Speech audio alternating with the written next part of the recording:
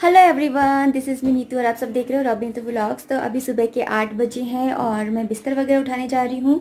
Actually है ना, बरामदा जब बना था ना तो किचन के अंदर फ़ैन लगा लिया था, लेकिन है ना, इधर लिविंग रूम में ना फ़ैन नहीं लग रहा है अभी। सोचा था लगा लेंगे, लेकिन अभी लॉकडाउन के चक्कर में लगा नहीं पाए। और रूम में जो पंखा था, वो ना चलते चलते पता नहीं कैसे बंद हो गया। तो रूम में भी पंखा नहीं है और अब इतनी गर्मी पड़ने लग गई है कि बिना फ़ैन के तो नींद आने वाली है नहीं है। तो पंखा तो चाहिए ही चाहिए तो रात में ना गर्मी लगती है तो किचन में जा जा करके सोना पड़ता है।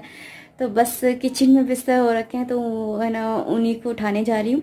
तो सोचा पहले वीडियो स्टार्ट कर देती हूँ और आप लोगों को बता देती हूँ कि हम लॉकडाउन में किस तरह से अपना जीवन यापन कर रहे हैं। तो चलिए, बिस्तर उठाती हूँ, आपको दिखाती हूँ। तो ये देखिए यहाँ पर इस तरह से हम लोगों को सोना पड़ रहा है क्योंकि रूम में पंखा नहीं है और गर्मी इतनी पड़ रही है तो रात में इस तरह से सोना पड़ता है। तो चलिए इनको उठा लेती हूँ और क्लीनिंग वगैरह कर लेती हूँ झाड़ू पोछा कर लेती हूँ। बाकी सब जगह मैंने कर लिया है बस यहाँ से थोड़ा सा करना है। हाँ।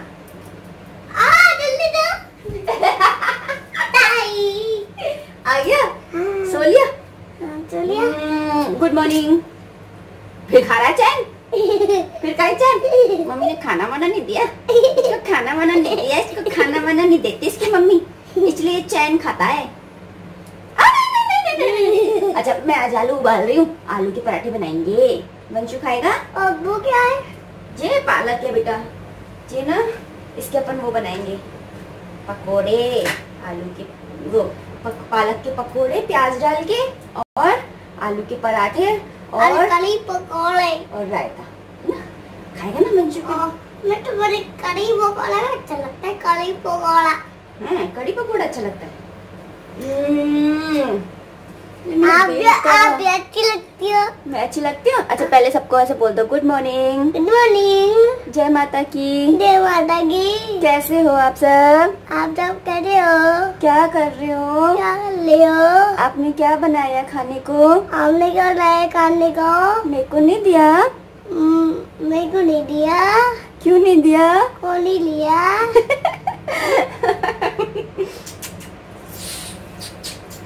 चलो अब ताऊ को जगा दो चलो ताऊ तक गए ना मैं कह रहा हूँ उड़ गए चलो ताऊ को जगा के आओ जल्दी जल्दी जल्दी जल्दी जल्दी हर्षित भैया को भी तो आज नाश्ते में मैं बना रही हूँ बेसन प्याज आलू और पालक के पकोड़े। तो इन सबको मिक्स करके और फिर ना पकोड़े बनाऊँगी। तो मैं इन्हें पालक जो है वो धो के कट कर लिया है और यहाँ पर मैं प्याज कट कर रही हूँ।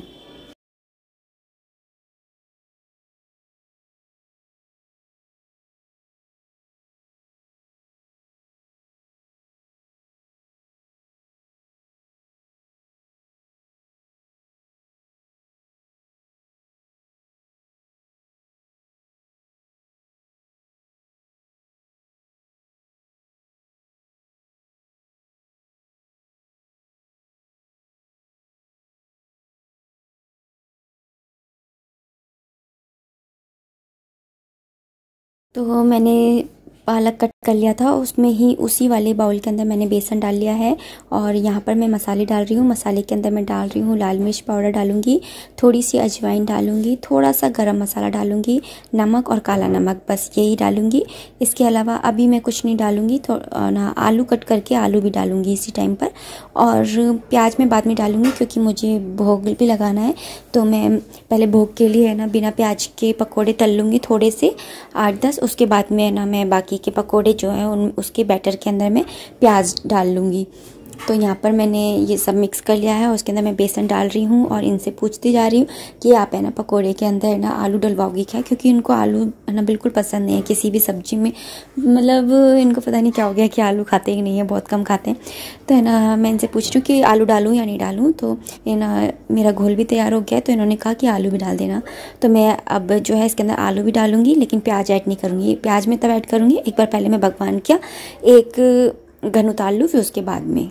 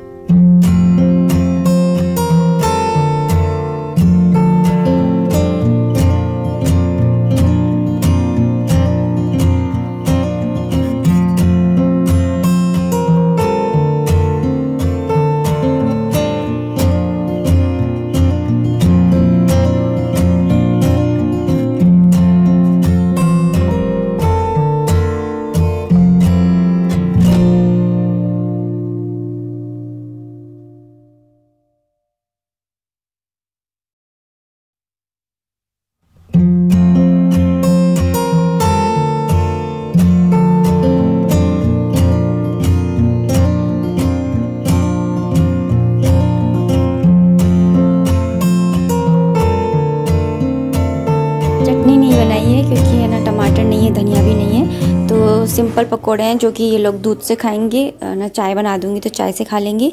और यहाँ पर मैं भगवान जी को दूध के साथ में पकौड़े का भोग लगा के आ रही हूँ। तो भोग की मैं रख के आ गई हूँ मंदिर के अंदर और यहाँ पर मैंने प्याज डाल दिए हैं बाकी के घोल के अंदर और उसको अच्छे से मिक्स कर लिया है। चम्मच से घोल रही थी, पर मुझसे है ना चम्मच से इतने अच्छे से मिलता नहीं। मुझे तो है ना अपने हाथ से ही अच्छा लगता है घोलना करना। तो यहाँ पर मैंने अच्छे से ना इस बैटर को घोल लिया है, घोल को तैयार कर लिया है, घोल लिया है और बस इसको से घोलने के बाद में और पकौड़े तलना स्टार्ट कर दूँगी, क्योंकि ये आ गए हैं और बैठे हैं, इंतज़ार देख रहे हैं कि कब लेकर आएगी।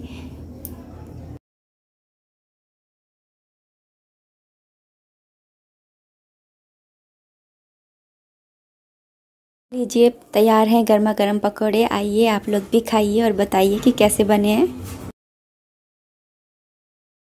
और मैं इन दोनों बच्चों को दिखाती हूँ कि इन दोनों को कैसे मस्ती चढ़ रही है और ये किस तरह से बिस्तर ख़राब करते हैं मेरे। ये किचन से पंखा उतारने में लगे हुए हैं यहाँ पर और अब इसको रूम में लगाएँगे।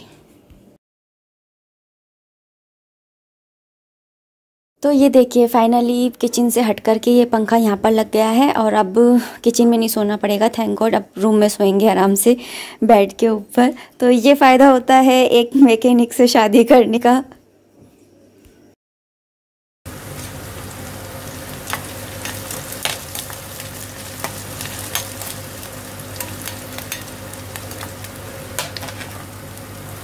अभी मैं बना रही हूँ जो मैंने पकौड़ी बनाई थी ना, उसकी सब्ज़ी बना रही हूँ। और मैंने सब्ज़ी बनाई थी, उससे पहले मैंने ये पापड़ वगैरह तल लिया है यहाँ पर। जो होली पर आए थे ना, वो वाले पापड़ हैं। शाम के टाइम में चाय के साथ में खाने के काम आ जाएँगे। और यहाँ पर मेरी सब्ज़ी बन रही है। मैंने यहाँ पे तेल डाला था। तेल के अंदर जीरा डाला है। उसके बाद में मैंने हरी मिर्ची डाली है और मैंने प्याज डाला है। बस उसको मैं भून रही हूँ प्याज को।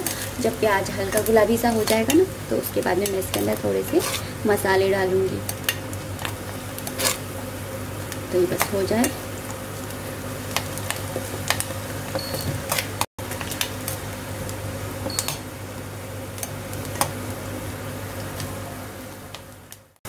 तो देखिए, यहाँ पर जो प्याज थी मेरी, वो भून गई है और थोड़ी बहुत मसाले डालूँगी हैं, तब भून जाएगी। तो मसालों के अंदर मैं डालूँगी हल्दी पाउडर डालूँगी। वही रेगुलर मसाले ही हैं ये, हल्दी पाउडर। सारी सब्जियों में है ना नॉर्मली यही वाले मसाले जाते हैं। बेसिक मसाले होते हैं ये। मैंने हल्दी पाउडर डाला है, धनिया पाउडर डाला है, उसके बाद में थोड़ी सी लाल मिर्च पाउडर डालूँगी। क्योंकि मैंने हरी मिर्ची भी डाली है तो मैं लाल मिर्च थोड़ी सी कम ही डालूँगी। और घर की पीसी है ना तो तीखी ज़्यादा लगती है थोड़ी सी में ये ना अच्छा सा स्वाद आ जाता है। कलर बेशक ना आए, लेकिन है ना, स्वाद है ना तीखापन आ जाता है। और मसाले भून जाएँगे तो उसके बाद में मैं इसके अंदर ये पानी डालूँगी। तो पानी थोड़ा ज़्यादा सही डालेंगे क्योंकि जो पकौड़ियाँ है ना, वो पानी को एब्जर्व भी करेंगी और थोड़ा ये खदकेगा भी मतलब कि थोड़ा सा बॉयल भी होगा। तो यहाँ पर मैंने पानी भी डाल दिया है और बस अब इसको कुक होने देंगे, इसमें बॉयल आने देंगे। नमक डाल देंगे थोड़ा सा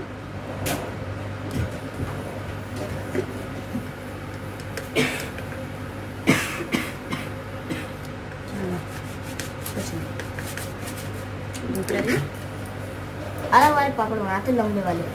लंबे वाले? कौन से? अच्छे वाले। फिंगर वाले? हम्म। ये रहे ना इसके नीचे दब रहे हैं। ले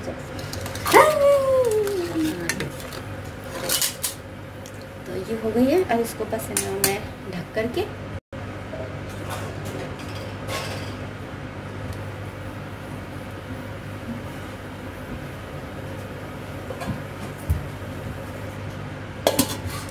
कुक होने दूँगी ढक करके।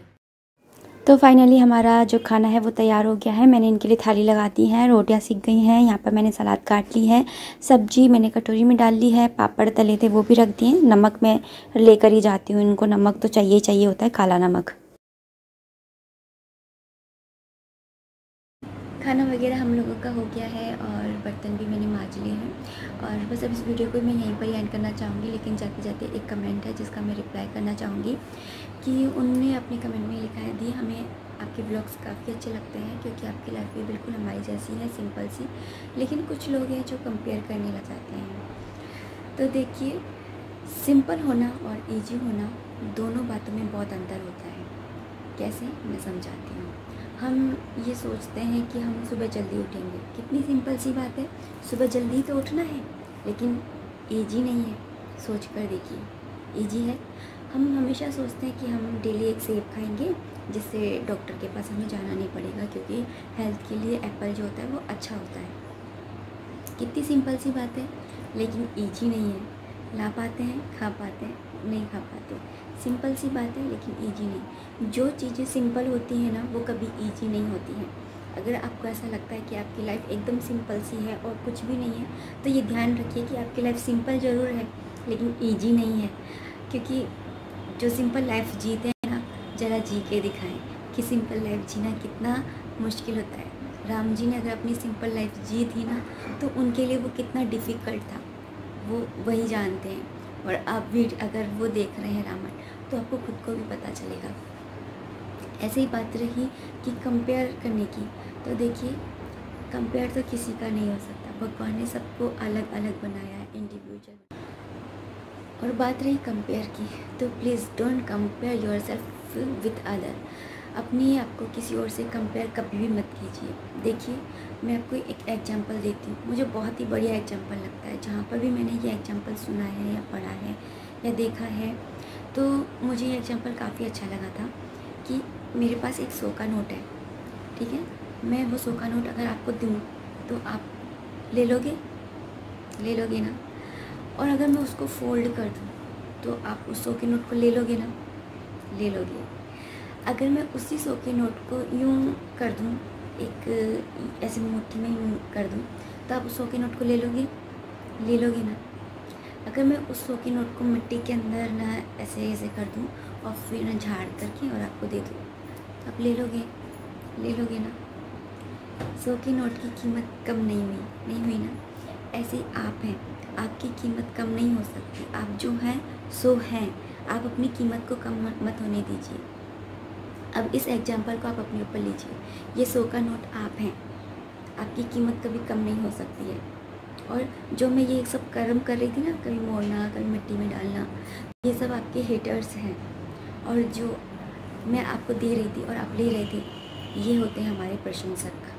जो हमारी प्रशंसा करते हैं, हमें प्यार करते हैं। तो आप ये सौ का नोट है। आप कभी अपने आप को कंपेयर मत कीजिए किसी से भी। किसी से भी कंपेयर करना अच्छी बात नहीं होती है। अगर हम सफलता के सूत्र जानने बैठेंगे ना तो सबसे पहला सूत्र यही होता है कि हमें किसी के साथ में कंपेयर नहीं करनी चाहिए। एक और एग्जांपल से आपको समझाती हूँ। समझिए कि एक तरफ़ चीनी है और एक तरफ़ चाय है। और नमक है सॉरी एक तरफ़ चीनी है, एक तरफ़ नमक है। आपको चाय बनानी है तो आप नमक डाल दोगे क्या? नमक से चाय बन जाएगी? या फिर आप रोटी के लिए आटा लगा रहे हैं तो चीनी से आटा लग जाएगा? नहीं लगेगा ना? सब अपनी अपनी क्वालिटी अपने अपने गुण लेकर पैदा हुए हैं। कोई एक जैसा नहीं है, इसलिए अपने आप को किसी से भी कंपेयर मत करो। अगर मैं किसी चीज़ में होशियार हूँ तो आप किसी और चीज़ में होशियार होगी भगवान सबको कुछ ना कुछ गुण देकर भेजते हैं। ज़रूरत है तो उनको पहचानने की। आपने वो कुतिया और हाथी की कहानी नहीं सुनी? कि ना, एक कुतिया होती है और एक हाथी हथीनी होती है। दोनों दोस्त होती हैं। और दोनों एक साथ ही है ना कोइंसिडेंटली है ना, एक साथ ही प्रेग्नेंट हो जाती हैं। तो दोनों खुश हो जाती हैं। तो कुतिया के ना दो साल के अंदर बीस या बाईस बच्चे हो जाते हैं, क्योंकि वो हर छः महीने के अंदर पाँच, चार, पाँच बच्चे पैदा कर देती थी। तो उसके बीस, बाईस बच्चे हो जाते हैं। और हथीनी के दो साल के बाद में भी एक बच्चा नहीं होता। तो कुतिया आकर के बोलती है, तुम प्रेग्नेंट हो तो सही ना? अभी तक ही नहीं हुआ? तो हथीनी बोलती है कि ये हाथी का बच्चा है, कुतिया का नहीं। तो ऐसे ही अगर आप सफल नहीं हो रहे हैं तो समझ लीजिए कि आपके पास हाथी का बच्चा है खुतिया का नहीं। तो बस ऐसे ही ये सारी चीज़ें ना सोचते रहिए और मोटिवेटेड रहिए। मोटिवेटेड रहना और करते रहना, अपने आप को रखना मोटिवेटेड बहुत मुश्किल होता है। लेकिन अगर आप अपने जीवन में डिसिप्लिन ले आते हैं ना तो आपको मोटिवेशन की भी ज़रूरत नहीं है। उस डिसिप्लिन के अकॉर्डिंग आप चलते रहिए। आप अपने आप मोटिवेटेड रहेंगे। आप अपनी लाइफ के रूल्स बना लेंगे कि मुझे सुबह पाँच बजे उठना है, इतने बजे तक मुझे काम कर लेना है, मुझे ये टारगेट पाना ही पाना है, मुझे ऐसे चलना ही चलना है इस टारगेट के लिए। अगर आप डिसिप्लिन में बन जाएँगे ना तो आपको कोई भी सफल होने से रोक नहीं पाएगा। किसी भी मोटिवेशन की ज़रूरत नहीं पड़ेगी। तो मोटिवेशन से भी ज़्यादा इम्पोर्टेंट होता है डिसिप्लिन में रहना। तो चलिए, इन्हीं थॉट्स के साथ में मैं इस वीडियो को यहीं पर एंड करना चाहती हूँ। आई रियली होप कि आपको मेरा ये वीडियो पसंद आया होगा। अगर आया तो प्लीज़ इसे लाइक कर दीजिएगा। कोई भी कमेंट हो, कोई भी सजेशन हो तो आप कमेंट बॉक्स के थ्रू मुझे कर सकते हैं। और प्लीज़ मुझे इंस्टाग्राम पर भी फॉलो कर लीजिएगा। मिलती हूँ नेक्स्ट वीडियो में। टिल देन बाय बाय जय माता दी।